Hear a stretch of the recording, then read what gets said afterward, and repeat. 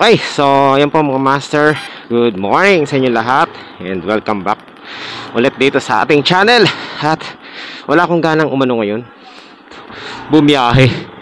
Ah, actually ano lang, tawag ito. Nakatunga nga lang ako dun sa bahay. Eh, sabi ko, sayang naman, wala naman akong ginagawa. So, why not mag-abang-abang ako ng booking para Just in case na meron tayong makuha, edi biyahiin na natin. So, ito na nga. Meron tayong dalawang pick up agad. No, pinagsabay ko na. So, second ano natin, ah, first first booking natin to. Ah, dalawang pick up. Double booking tayo. So, ngayon pupuntahan na natin ngayon yung ano natin, yung pick up. Okay, syempre bago lahat, gusto ko muna magpasalamat sa lahat ng ating mga taga-subaybay dito mga sa ating mga subscribers dyan walang sawang sumusuporta.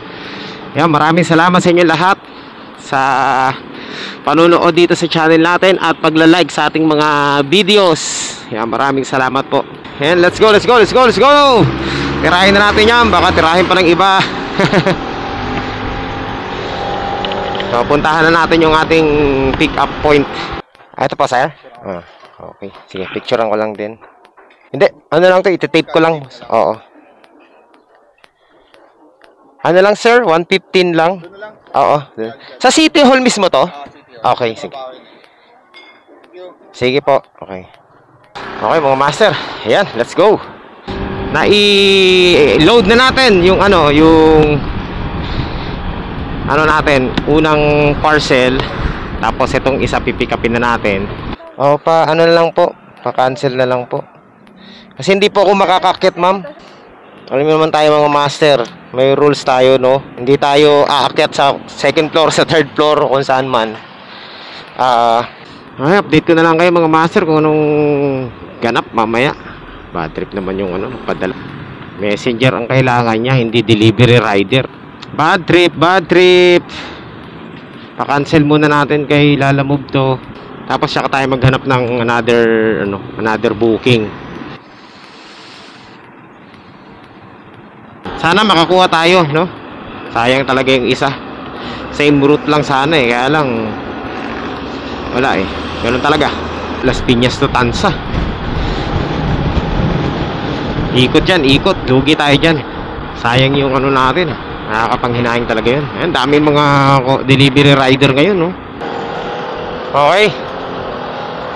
So mga master. Ah... Uh, malapit na tayo sa ating pick up ah, drop off drop off point no? Dito sa may ano Muntinlupa. Ah diniretso ko na dito yung isang ano natin. Hindi na ako nag double booking kasi palpak yung una nating ginawa. Ah sir? Ah nandito na po ako sa ano sa municipal hall sa ano Okay po. Nandito lang po ako sa may entrance, sa may security guard. Okay, so ayan, complete na ang ating uh, unang-unang ano, unang-unang drop off. Supposedly dapat double booking tayo ngayon pero oh, hindi na tuloy. Na-cancel yung isa. So kaya ano na muna tayo. Hanap muna tayo. Ngayon, mag-double book na talaga tayo. Para ano? Para hindi tayo lugi. So, tambay muna tayo dito sa malilim. Hanap tayo ng malilim na lugar. Ito mga master, ang pinakamahirap na part dito kapag ikaw ay isang courier service. No? Uh, yung paghihintay ng tamang tamang pick up at tamang booking na sasakto doon sa ruta mo kasi napakahirap po talaga magano mamili ng mga booking dahil nag-aagawan din yung mga rider sa dami ng ano sa dami po ng ng ano ng nag-aabang ng mga rider. So ayan. Titingnan natin kung meron tayong makukuha dito no? Ayun no? Nakita niyo naman. Ang hirap. Tsaka sa akin sa part ko naman ang laki ng chance na malugi ako sa biyahe. Kasi ang laki po ng motor ko no? Hindi kagaya ng ibang mga small cc na 110cc, 125 na scooter na mga fuel injected. Matitipid sa gasolina yon. Yan sa atin kasi ang laki, 200cc tayo. Kaya talagang ingat na ingat ako sa pagkuha ng booking no hangga't maaari kukuha tayo ng booking yung kahit papaano may kikitain kasi ka, kapag pick up lang ako ng pick up na malulugi ako no parang napapansin ko nga ano lang eh break even halos yung ano yung biyahe ko Ah, minsan napapapindot ako sa ano sa medyo malayo kagaya nito. Tondo. So yan. Mas pabor sa akin yung mga malalapit lang dahil kapag malapit lang yung yung pick up mas ano mas tipid ako sa gasolina at saka hindi ano hindi lugi. Kapag malayuan na talagang kakain na ng malakas na gasolina tapos napaka-traffic pa So, yan yung ano, yan yung disadvantage kapag ikaw ay naglalamove or nag-courier service ka, medyo yung motor mo medyo malaki, no?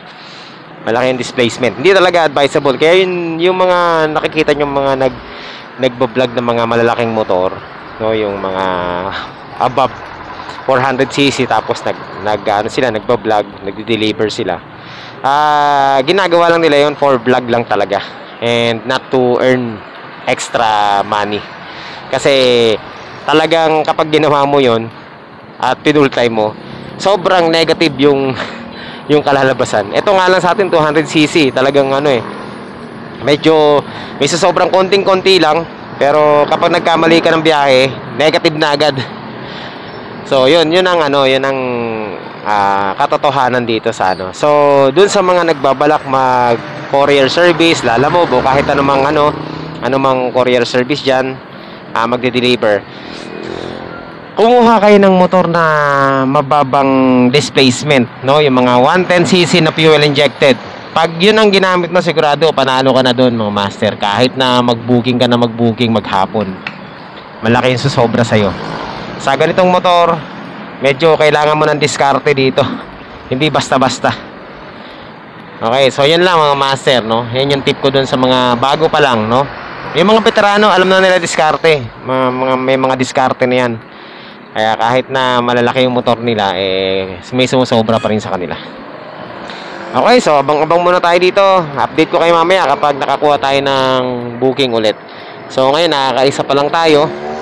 At sana, magtuloy-tuloy yung ating pag-pick up para ano, makuha natin yung goal natin. Ang goal ko ngayon, maka limang ano eh, limang delivery.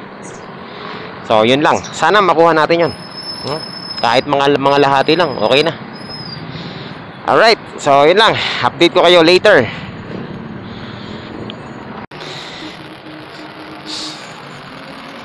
So, ayan mga master. After 1 hour ng pagtatambay natin dito sa sa Muntinlupa. Ayan, nakakuha na tayo ng booking ngayong araw na to. At dyan lang sa tapat, no? Sa may ano lang sa may putatan lang. Akit lang tayo dyan sa taas. So di ko alam kung anong pipick upin natin pero tawagan muna natin yung ano yung uh, magpapadala. Tingnan natin kung al ano yung papadala nila para mayroon tayong idea. Ah hello po. Ah ma'am sa lalamove po ito. Ah papunta na po ako for pick up Ah, uh, ano pong ipapadala pala nila ma'am para may idea po ako. Ah, okay. Ah, sige po. Okay po. Sige po. On the way na po ako. So, ayan mga master. On the way na tayo. Papeles lang ang ipapadala. Tama-tama. Po pwede to sa pang double booking. Kung makakakuha tayo, no? Ng booking. So, wish me luck kung makakuha tayo pabalik ng Las Piñas. Uh, kasi itong ano natin, dadali natin para nyakit. Pero, ano, may ko... May contact po dyan. Oo. Ayan po, yung... Sunrise. Brick, ano to? San Sitio Bricktown. Moonwalk Village to. Hello, sir. Ah, sir, sa ano po ito? Sa Lalamove po. Ah, ako po yung magdadala dyan ng, ano? Papers to, ma'am, no? Oh, kay Federico Lastimosa ba yun? Okay. Sir, saan po pinaka mabilis na daan dito sa inyo, papunta sa inyo. Okay, sige po. Okay, okay, sir. Sige, tatawag na lang po ako pag nandiyan na po ako. Pang second, ano natin to, pang second booking natin. So, dun tayo sa, ano, Bricktown. So, tatry pa natin makahanap ng, ano, mga master, ng double booking para sigurado. Sir, uh, nandito na tayo sa Las Piñas at Ah, meron pa akong isang delivery pero maghahanap tayo ng ano ngayon ng pang double booking para hindi sayang yung biyahe natin. So hanap tayo ng papuntang Paranaque kasi Paranaque yung punta natin ngayong araw na to eh. Ayun, ayun, naka double booking na po tayo mga master. So, ayan, saktong-sakto papuntang Pasig. Alright, so puntahan na natin to. So, ano to sa Uniwide lang, no? So, tawagan natin muna. Okay, so ayan, saktong-sakto mga master. Nakakuha tayo ng pang double booking. Minsan lang magkaka-double booking. Palpak pa. Update ko kayo mga mga master pag okay na. Eto, hindi pa nila kina-cancel. Cancel na nila muna. Ah, sa ano to eh, sa 4307. So ito nga ang dahilan kaya ako kaya ako pina-cancel yung ano, yung order niya.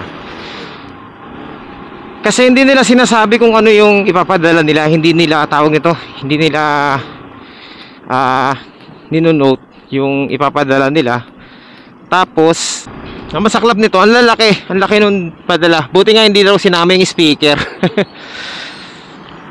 Doon po sa mga mag, mag nagpapabook ng ano ng parcels nila para po ano, para po tuloy-tuloy yung ano para po hindi nakaka-cancel yung order eh mangyari po na i-ano nyo, i-declare nyo kung ano yung ipapadala, hindi yung kung kailan nandoon na si rider at saka lang malalaman ni rider na hindi pala kasya sa motor yung ano yung ipapadala nyo eh kasi meron tayong ano merong policy si Lala Move no? kailangan sundin natin kahit pa paano pero syempre nasa rider na lang din yung ano yung kung gusto niyang isakay yung parcels.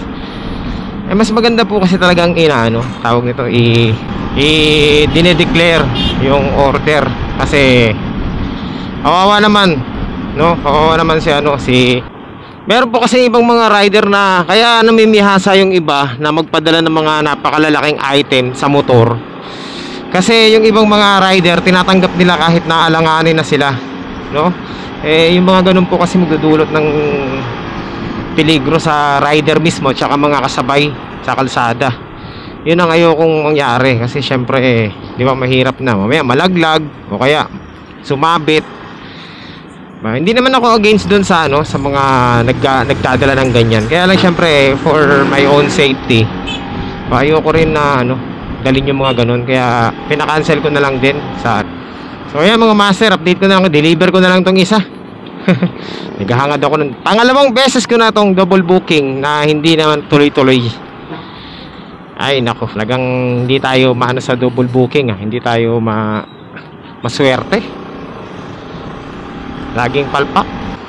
So ito po mga master kinancel na ni Lalamove yung order ko. Kasi sinabi ko mismo sa support ng Lalamove malaki hindi kasya sa motor yung ipapadala niya. Update ko na lang kayo mga master kapag na drop off na natin tong isang ano na to tong booking na to. Sobrang init!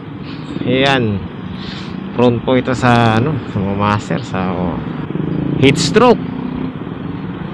Kaya kailangan kapag galing ka sa bilad sa araw ano tawag ito inom ka ng tubig. Kaya malapit na po tayo sa ating delivery no? kakahanap natin kakahanap natin ng pang double booking. Pornada. Ah pornada dalawang beses. Yung isa okay sana kaya lang hindi talaga pwede. Laki talaga. Saka malayo yung pabiyahin natin. Amplifier dalawa malaki. Samahan pa ng iba pang item. Hindi na pang motor yun eh gusto pa isama yung ano speaker na malaki.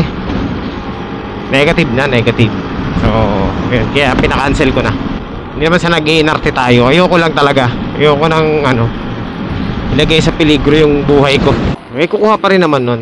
Pero kahit yung isang rider ayaw tanggapin eh. Hello sir? Ah sir nandito na po ako sa Sitio Sunrise. Ah papasok sa maliit na gate. Yung may yung may outpost po. Ng ano, ilagay sa pelikula yung ring the bell pero walang sumasagot Hello sir, ah, Sitio Sunrise.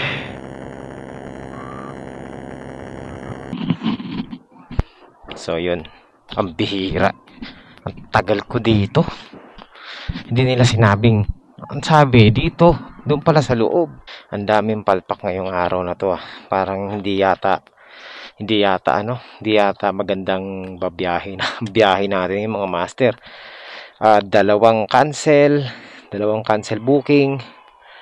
Tapos, ayan, ang dami mga palpak. So, I think, pag ganyan, senyalis na yan na kailangan na nating magpahinga muna. Huwag na natin pilitin kung talagang hindi ano, hindi maganda ang ano natin.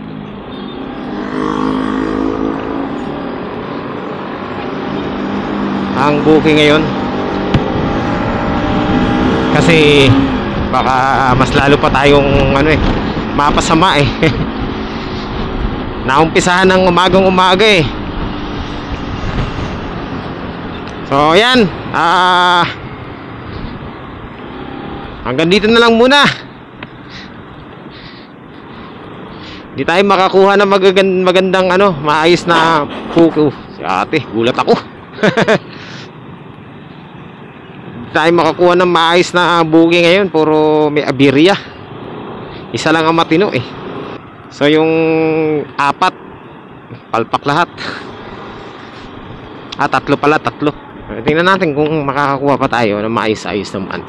Bigyan tayo ng maganda-gandang booking naman.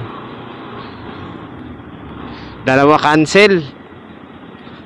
Grabe. Mga master, nandito na po tayo sa Las Piñas. Siguro, uwi muna ako sa bahay. At magbe-break muna ako. Dahil hindi maganda yung ano, hindi maganda yung mga kinalabasan ng ating mga booking ngayon. Ah, dalawa yung na-cancel sa atin. Tapos yan, ang tagal natin naghintay. Grabe. So, hindi magandang sign, no? Parang talagang off off tayo ngayon. Off today. Tama ba? Kaya ah, ano muna tayo? Uwi muna, no? Tapos refresh muna tayo. Kasi para makapag-relax relax naman sa bahay. Wala tayong makuha magandang booking eh. Ang dami mga booking pero puro malayo sa atin. Tsaka puro lugi yung iba. Okay, so yun lang mga master. Maraming salamat sa pagsama nyo rito sa biyahe natin kahit na hindi ganun kaganda yung ating biyahe ngayon. Nagpagod lang tayo. Naumpisahan kasi ng ano kanina eh.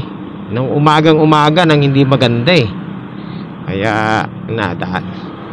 Nagtuloy-tuloy na. Dapat talaga ang unang booking maayos eh. Para kahit papano, ayan, makabawi agad. Eh kaso kanina ang buwan naman natin cancel agad. So yan, maraming salamat po sa sumubaybay ngayong araw na to sa ating vlog for today. At ayan. Maraming salamat sa mga subscribers sa walang sawang sumusuporta rito sa ating channel. Ganyan ang dati kong motor. Unang-una kong motor ganyan mga master. Ayan, so maraming salamat sa lahat ng sumusuporta rito sa channel natin. At kung hindi ka pa nakakapag-subscribe at nakarating ka sa, sa part na to ng ating video, ayan. So, click mo lang yung subscribe button at pinutin mo yung notification bell para updated ka sa lahat ng ating mga future uploads. Right? Kung ano man ang ating gawin. So, thank you po sa inyo lahat. At magkita-kita po tayo sa mga susunod pang updates. Bye-bye. Thank you. God bless sa inyo lahat.